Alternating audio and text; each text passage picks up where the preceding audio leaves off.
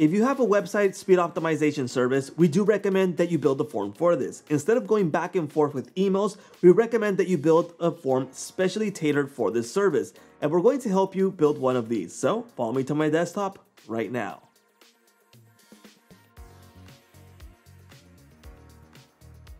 Welcome to Jotform. My name is George, and today I'm going to show you how to build the website optimization form to receive clients information. This way, the process is gonna be more smooth than going back and forth with emails. Now, to get started, we're going to build a form. So it's going to create a form and there's options to use a template, but there's several templates available. We're gonna make one specially tailored for website speed optimization. Now we have two options, a classic form and a card form. I would recommend a card form since, since there's going to be a lot of questions that are going to be asked for the service and maybe having the form in one single place might look overwhelming. So step by step makes it a little bit easier. But in this case, I'll use classic form because this way we're going to view all the elements in a single page, okay? So this is our form builder for Jotform, and we're gonna get started by dragging in the elements that we are going to need. So to get started, obviously we need to ask for the basics, okay? So first off, we're gonna need the name, the email, maybe the phone number, okay? And we're gonna get more specific with this, okay? So let's add a short text and we're gonna ask for the company name, company name, here we go. And next we're gonna ask for the website. So in this case, we're gonna add another short text here. Here we go, website. And then next, we're gonna ask for what type of platform or CMS system they're using. This is super important, especially if you know what you're doing, because we need to know if they're using WordPress, Wix, PHP, or other type of CMS systems, so we know how we're going to optimize, okay?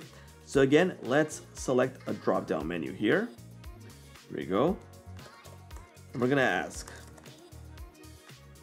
what type of platform? CMS, okay? And in the drop-down sections, we'll add, for example, WordPress, which is really popular, PHP, Wix, Joomla, and there, there's several others, and others, okay? Other. So that gives it a drop-down menu to know what platform they're using. So this is really important. Next thing we want to know is, who is the hosting provider? So again, we'll add a short text, and we're gonna ask, who is your hosting provider? And again, they'll add it there. In case you're using um, X hosting provider, they'll add, they'll type it in here. Okay. Next, we want to know if they have access to certain aspects of their website, like their DNS provider, their hosting provider, and access to the actual CMS. So we'll add a check mark for this. So here we go, multiple choice. We'll add it here. And we're gonna say Okay, and the first option is going to be, for example, DNS settings, CMS access, hosting provider, and we'll keep it simple. Okay, so we're gonna ask those. So they'll check mark what they do have access to. This is really important because if you don't have access to some of these, it might make it impossible for you to optimize the site for speed, okay? Now, we're gonna need to know what the goals are for our clients. So if they want a specific goal for a specific reason, for example, Google page speed or maybe just a faster loading speed. So we need to know some of these questions. So it's gonna be a multiple choice. And let's ask the question here. Okay, speed optimization goals. And one would be, for example, faster website loading time. Google page speed improvement, time till first byte improvement, and other ones that you might remember, okay? So let's get rid of type 4 for now. But again, you can add your own and as many as you would need to ask your clients. Now, what are the geographical target goal here? And that's important because if you are offering speed optimization, then you would know that content delivery network is super important. So if they want to focus on a certain country, then you want to make sure that you're using the fastest content delivery network, CDN.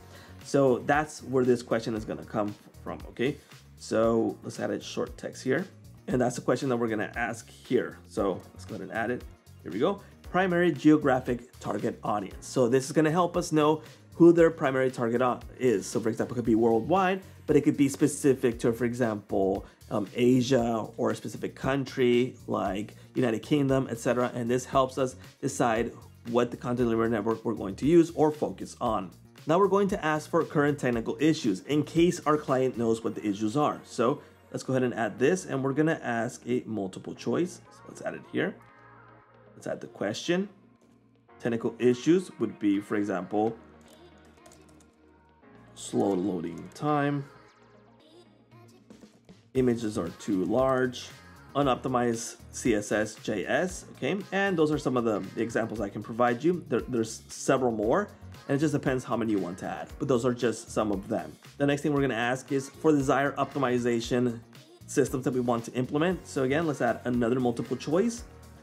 Let's add them here. For example, it could be caching, which would be a cache plugin in case it's WordPress or a custom PHP cache system.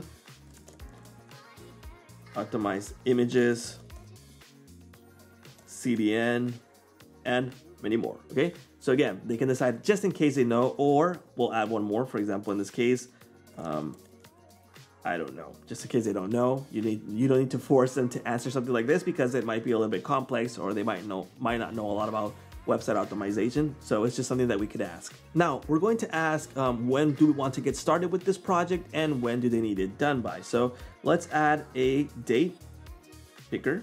So let's add one date picker here. And this will be the start date, desired project start date, and another uh, date picker here and desired for, and we'll add this one for desired project completion date, which is really important. So now we want to know what their budget is and the end message. So we'll add the long form at the end and we'll add the long text here for, for example, other details. And the last one that we're going to add is the budget. So we're going to add a number row here, for example, budget. Okay, so now we have a complete form. Obviously, we can tweak this, make it look nice and all that, but these are the main elements that we kind of suggested here for a website speed optimization service.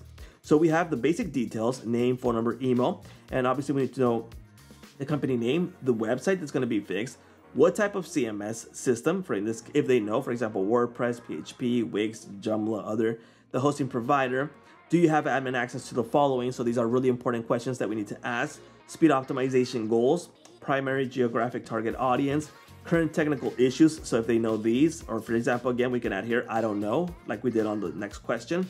And desired technical improvements, desired project start date, the completion date, the budget, and other details that they might have. The idea of creating this form is to avoid going back and forth with questions that should be answered from the beginning.